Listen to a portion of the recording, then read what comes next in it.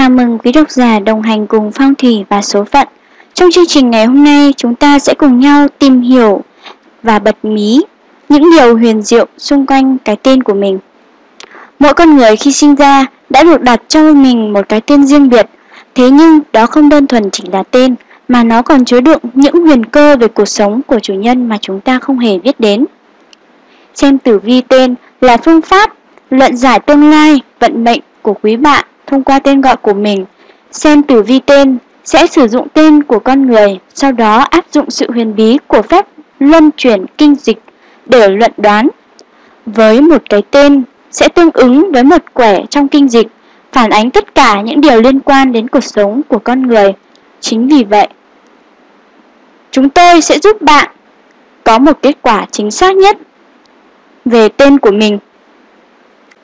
Tiếp sau đây, chúng ta sẽ cùng nhau tìm hiểu về tên. Thiên Kim. Tên của bạn ứng với số 8 Số 8 tượng trưng cho quyền lực, thành công, chiến tranh và tàn phá. Có ý nghĩa lúc nào cũng phải tôn trọng công lý và đề phòng những tai nạn hiểm nguy và sự suy sụp, tàn phá. Số 8 liên hệ với sao hỏa tinh và tương đương với lá bài tarot hùng Tên của bạn ứng với số 8.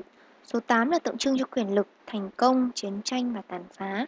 Có ý nghĩa lúc nào cũng phải tôn trọng công lý, đề phòng những tai nạn hiểm nguy và sự suy sụp, tàn phá. Số 8 liên hệ với sao hỏa tinh và tương đương với thần hùng cường trong bài tarot. Xét về tính tình và nhân cách, người mang số 8 có khả năng thiên phú về tập trung tư tưởng và chú ý, tự rèn luyện và khuôn khổ kỷ luật. Có nhiều cá tính và ý chí sắt đá, là những người có quyết tâm khai sơn phá thạch, ít khi làm việc gì mà không để hết nhiệt tâm, rất chân thành, cực đoan và cuồng nhiệt. Rất ghét những gì tầm thường, hoặc là thành công rực rỡ, hoặc là can tâm thất bại ê chề. Tự rèn luyện khắc nghiệt và có khuynh hướng lôi cuốn người khác đi theo con đường của mình. Đôi khi thích hoạt động vì quyền hành, nhưng thường tin rằng những người xung quanh cũng cuồng nhiệt phục vụ cho một lý tưởng như mình. Nhiều khi tỏ vẻ lạnh lùng, nhưng là người rất tốt bụng. Nếu có vẻ xa cách là bởi họ không biết cách hoặc khó biểu lộ cảm xúc, thường có vẻ cô độc, thích được kết bạn với những người khác nhưng không đi đến chỗ thân mật được. Nhiều nghị lực và hoạt động, thích theo đuổi những mục đích có cả tinh thần lẫn vật chất, không chịu được sự thất bại khi đã dấn thân vào việc gì, dẫu là tiêu khiển hay làm thật, cũng mong hòa hoặc thắng. Trong những lần đầu gặp đầu tiên, nhiều người sẽ bị quyến rũ ngay bởi sức mạnh nhân cách của họ, như bị thôi miên vậy. Tuy nhiên, càng tiếp xúc lâu với người số 8 nhiều, sự mến phục này ngày càng giảm đi và số 8 bị mất dần những người ái mộ. Khi muốn, họ tự tạo cho mình sự nổi bật và duyên dáng, nhưng họ rất ít khi làm như vậy, trừ những lúc họ cảm thấy thực sự cần cho họ. Vì ham muốn đạt được mục tiêu, đôi khi họ trở nên cứng rắn, khắc nghiệt với những người mà họ không có tình cảm. Là người bạn rất trung thực và tin cẩn, thường sẵn sàng đứng lên bênh vực và che chở những người thân của họ. Với kẻ thù, họ trở nên đáng sợ vì họ rất khó quên với những xích mích dù nhỏ nhặt. Và khi đã bùng nổ tranh chấp hay hiềm khích, họ sẽ chiến đấu đến cùng. Trong công việc, năng khiếu và tiền bạc, họ thường thành công rực rỡ với những chức vụ quan trọng, nhất là những địa vị hữu quyền, vì ngoài khả năng tập trung chú ý, tự ghép mình vào khuôn khổ kỷ luật, họ còn là những người làm việc có kế sách chặt chẽ, có sáng kiến và biết áp dụng những tư tưởng mới lạ. Khi tận lực cho công việc, họ có thể đạt đến tột đỉnh của thành công. Tuy nhiên, vì có tài năng và muốn lãnh đạo, họ cần phải thận trọng lựa chọn những con đường. Bởi vì nếu đi nhầm đường, họ là những phần tử đe dọa cho xã hội.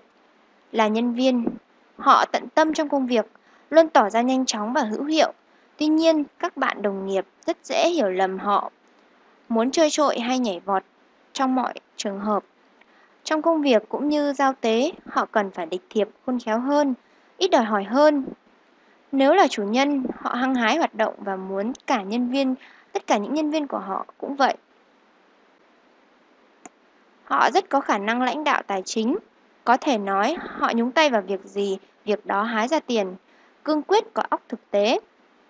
Biết đánh giá đồng tiền tiêu pha một cách hợp lý, xứng đáng, không chặt chẽ về vấn đề tiền bạc nhưng cũng không phung phí, tiêu pha liều lĩnh. Kinh doanh nhiều thắng lợi, rộng rãi với gia đình, bạn bè, nếu cho rằng đó là người tiết kiệm. biết sử dụng đồng tiền. Về tình duyên, rất ít khi thay đổi. Từ chỗ yêu tha thiết đến hoàn toàn rừng rưng, điều này có thể chứng tỏ tình yêu nồng nàn, say đắm, nhưng có khi lại rất xa cách lạnh nhạt. Trong tình yêu, rất ít người số 8 tìm được hạnh phúc trong trung dung. Tình yêu với họ là đầy ngọt ngào hoặc là đầy cay đắng. Tuy hôn nhân của họ có thể trải qua nhiều cay đắng nhưng không bao giờ buồn tẻ. Họ là những người hoạt động, dễ làm nảy nở những sự hào hứng mới. Vì vậy với họ, nhất là nam giới, rất quyến rũ đối với người khác phái. Trong khi họ có thể rất có rất nhiều bạn thân. Họ lại có rất nhiều người mến mến chuộng trong cương vị tình nhân hay vợ chồng. Nếu các số 2 và số 6 thông cảm được bản tính của họ, hôn nhân sẽ đạt được nhiều hạnh phúc. Họ thường được hài lòng khi kết hôn với số 4, số 7 và số 9, tuy đôi khi thiếu sự nồng nàn. Nhiều khi kết hợp với họ đối với số 3 và số 5 cũng đem lại nhiều hạnh phúc nếu hai người biết tương nhượng lẫn nhau. Họ không thể hòa hợp được với số 8 hay số 1 vì những con số này có bản tính háo thắng, dễ va chạm trong cuộc sống hàng ngày. Mời quý độc giả cùng tham khảo các chương trình tiếp theo của phong thủy và số phận.